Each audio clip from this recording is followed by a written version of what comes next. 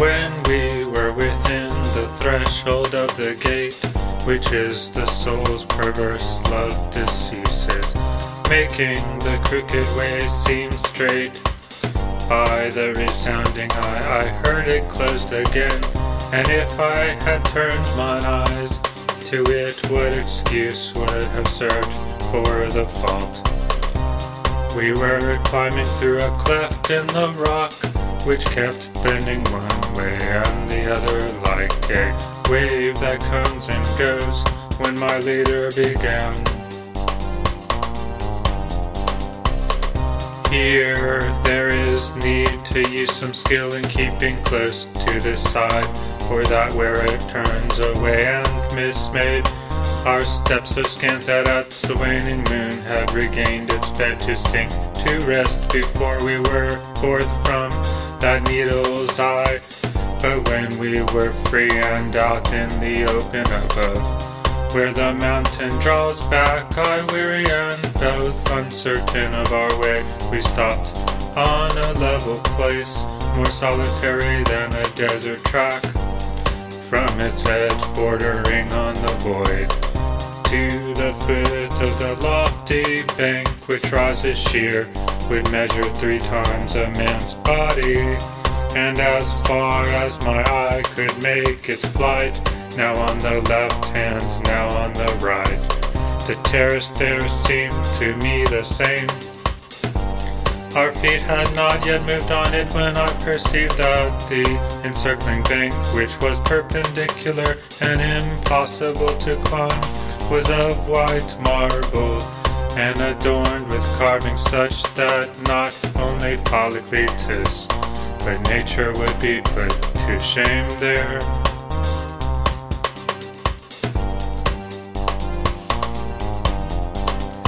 The angel who came to earth with the decree of the many years wept for peace that opened.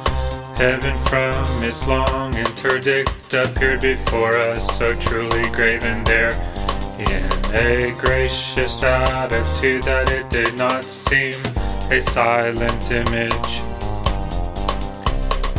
One would have sworn he said, Ave, for she was imagined there to have turned the key to open the supreme love, and in her bearing she had this world imprinted, eke ana die, as nearly as a figure stamped in wax.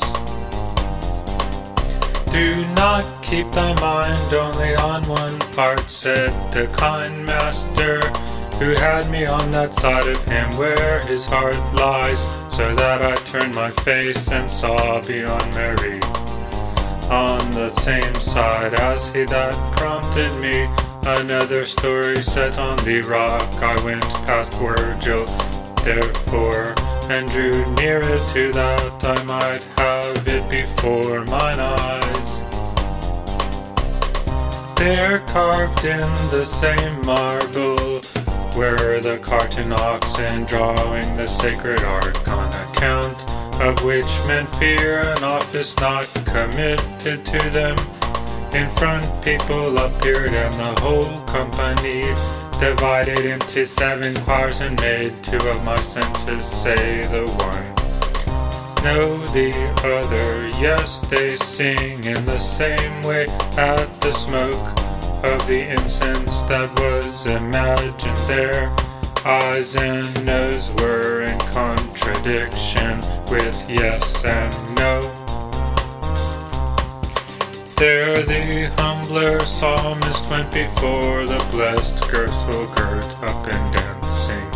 And that time he was both more and less than king. Opposite figured out the window of a great palace. Cow looked on like a woman vexed and scornful. I moved my feet from where I was to imagine close at hand another story which I was gleaming white beyond Michal.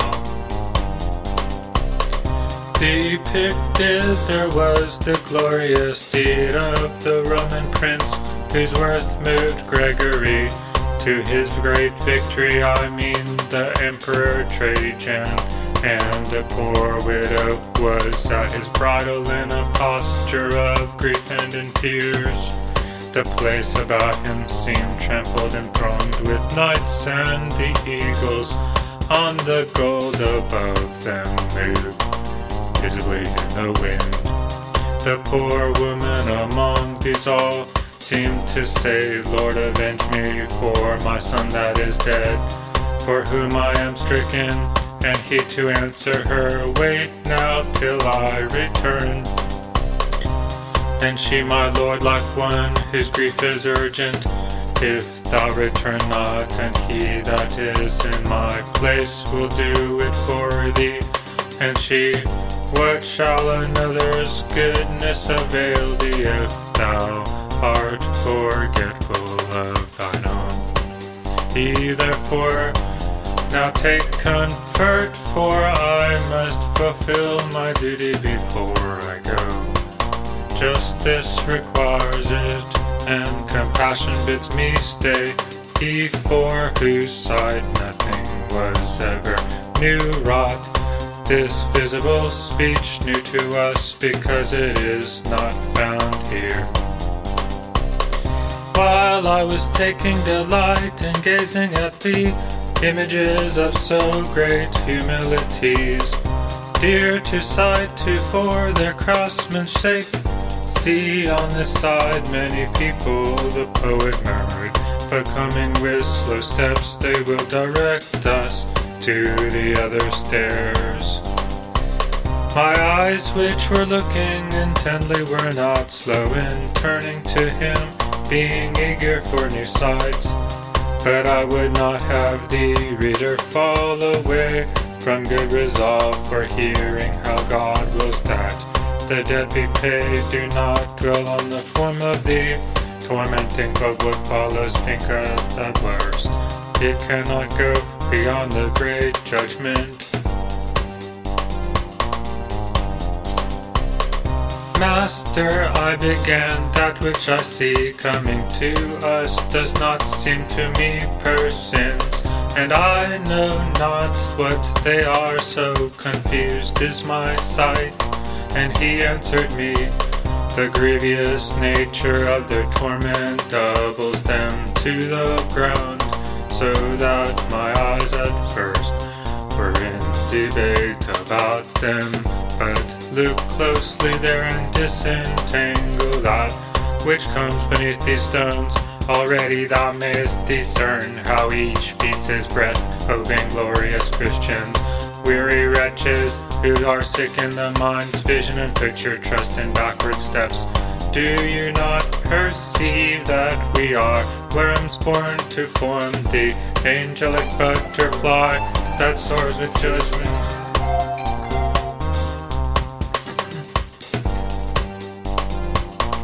Without defense. Why does your mind float so high since you are as it were imperfect in sense? Like the worm that is undeveloped. As for corbel to support ceiling or roof, a figure is sometimes seen joining the knees to the breast, which begets it from its unreality. Real distress in him that sees it in such a posture. I saw these when I looked carefully.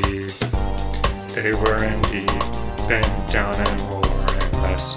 And they had more and less on their back, and he that had the most patience in his look seemed by his weeping to say, I can no more.